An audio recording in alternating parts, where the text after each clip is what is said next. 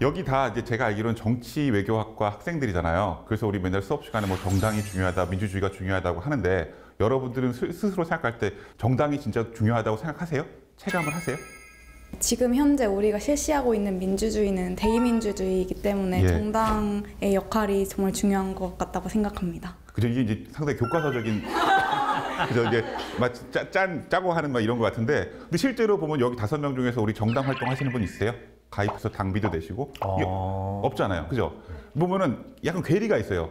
뭔가 다 중요하다고 하는데 내 생활은 아니에요. 여긴 다섯 명밖에 안 되지만은 정액과 수업에서 예를 들면 100명의 수업을 듣는다고 하면 굉장히 많잖아요, 사람이. 예. 그 중에서 정당 당원 손들어 보세요 하면은 정당 중요하다고 할 때는 다 이렇게 이렇게 하다가 정당 당원 손들라고 하면 한 명, 두 명 손들고 또 사람들이 걔를 또 되게 이상하게 봐요. 어. 쟤 뭐지? 정치하는 애가 여기 왜 와 있지? 그러니까 벌써 그 인식에 큰 괴리가 있거든요. 음. 이걸 어떻게 볼 것인가? 그 정말 그 정당이 중요하냐고 물어보면 아마 그렇지 않다고 답할 사람은 없을 텐데. 그렇죠. 예. 근데 그 사실 대학생 나이 때 정당 활동을 하고 있다 이러면 예. 자기 앞가림을 해야 될 시기에 예, 예. 너무 거창한 목표를 갖고 있는 게 아닌가 이제 이런 시선으로 볼 수도 있거든요. 그렇죠. 그렇게 볼 수도 있죠. 예. 근데 이제 또 보면은 정치가 보면 우리가 보면 교과서적으로 옛날부터 아리스토텔레스 얘기하잖아요. 인간은 정치적 동물이다. 네. 맨날 다 배우거든요. 그래서 나는 정치적 동물이어야 되는가 생각을 해요. 실제로 뭐 우리 선거를 뭐 국회의원 선거 4년마다 하고 또 보궐선거도 있고 대통령 선거도 하잖아요. 그러니까 저- 우리가 유권자로서 정치로부터 떨어져 있지 않거든요. 근데 그럼에도 불구하고 지금 아나운서님 얘기하신 것처럼 뭐 정치 활동한다, 정당 활동한다 하면은 벌써 저희가 조금 좀 그렇게 보거나 또 그래요. 이거 어떻게 이런 갭을 이런 차이를 괴리를 해결할 것인가? 학생들은 그런 거 안 느끼셨어요? 그리고 우리 보면 정외과 들어왔으면 정치에 관심 있는 학생들 아니에요 대부분 다?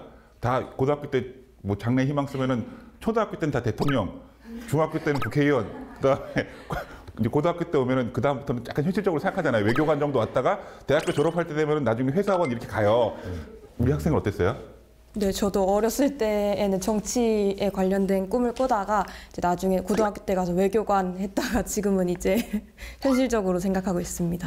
그렇죠. 보면 이렇게 다들 보면 가까이에 정당이 있고 정치 현, 그 현상이 있는 것 같지만은 또 약간 거리를 두고 있어요. 그래서 이걸 어떻게 할 것인가 고민이 있어요. 근데 또 보면은 다른 유형의 정치 참여는 또 활성화돼 있거든요. 다양한 시민단체에 관여한다든지. 그러니까 보면은 선거나 정당 관련된 어떤 대의제랑 관련된 것들은 멈춰 있는 듯하지만은 다른 유형의 정당 활동 아니면 소셜 미디어에서 보면 여러분들 뭐 맘카페 그다음에 뭐 요리 카페 아니면은 뭐 자동차 카페 이런 데가 다 보면 상관이 없어 보이지만 거기서 다 보면 정치 얘기들이 굉장히 오가고 있지 않나요? 이거 보면은 이쪽은 뭔가 되게 죽어 있는 것 같지만은 또 저쪽에서는 뭔가 정치가 살아나고 있는 것 같아요. 여러분들 지역구에 뭐 국회의원이 누구다 하면 이름 물어보면 제가 물어보진 않을게요. 왜냐면 또 여러분들 체면이 있으니까 방송이 있으니까. 근데 보면은 물어보면은 100이면 100, 아, 막 다 이러고 눈을 회피해요. 모르니까. 그래도 국회의원은 아는 경우들이 많거든요. 근데 만약에 제가 여러분들 지역에 구의원이 누구냐, 여러분들이 뽑았는데도 잘 몰라요. 이 문제가 뭐냐면은 정치에 대한 무관심도 있어요. 근데 제가 또 여러분들한테 정치에 무관심하다 그러면은 아니면 저- 뭐 국회가 신뢰가 떨어졌다 하면은 여러분들 아니에요. 다른 부분에서는 관심이 많지 않아요? 여러분들 정치 뉴스 다 보잖아요. 그리고 뭐 소셜 미디어에서 뭐 아니면 뭐 페이스북 아니면은 뭐 트위터 이런 거 다 보지 않아요? 도널드 트럼프 대통령 뭐 트위터 엄청 많이 했잖아요, 보면은. 이 그런 거 보면은 다른 부분에서는 또 관심, 관심이 있는 것 같다. 요게 참 재미있는 포인트가 아닐까 그런 생각을 합니다. 기존의 국회의원이나 아니면 정당의 기성 정당들의 인기는 많이 떨어지고 불신이 높아지고 있어요. 그렇죠? 반면에 뭔가 다- 대안적인 것들, 대안적인 정치 참여의 채널들이 인기가 올라가고 있는 거 아닐까요? 여러분들 뭐 팟캐스트라든지 아니면 유튜브 이런 거 많이 보지 않으세요? 어때요? 음, 맞습니다. 소셜 미디어 이런 거 아나운서님도 많이 보실 것 같은데요? 그 뭐 저는 뭐 여러 가지 많이 보는데 예. 그 사람들이 정당에 직접 가입을 하지 않더라도 예. 예를 들어 어떤 집회에 참가한다든가 예. 아니면 어떤 정치 뉴스에 댓글을 단다든가 예. 아니면 직접 달진 않아도 좋아요를 누른다든가 그렇죠. 이런 예. 걸 함으로써 예.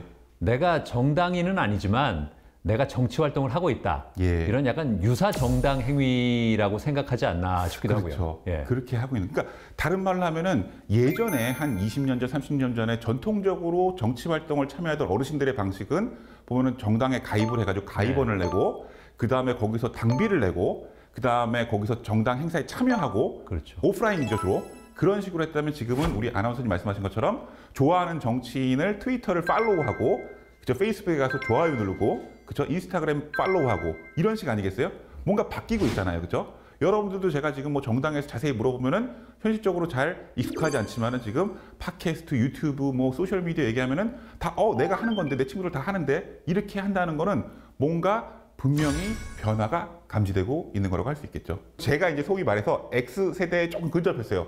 좀 약간 거리가 있어 외모 보고 그렇게 판단하면 안 돼요. 근데 M 세대, Z 세대 이런 얘기 하잖아요. 맞죠? 밀레니얼 세대, Z 세대. 그러니까 여러분들의 뭐 삼촌이나 아니면 아버지 세대가 아마 X 세대 아닌가요?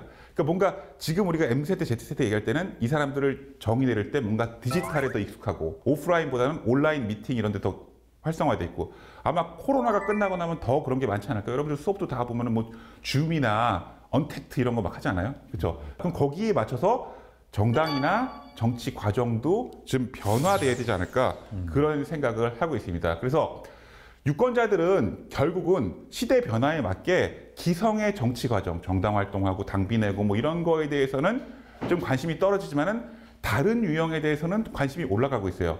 그래서 이런 괴리 속에서 정당이 어떻게 지속 가능할 것인가 그런 변화에 어떻게 적응하고 어떻게 보면 좀 약간 진부한 말일 수 있지만은 미래지향적인 정당의 모델로 발전해 나갈 수 있을 것인가 거기에 대한 고민이 필요한 시점이 아닐까요?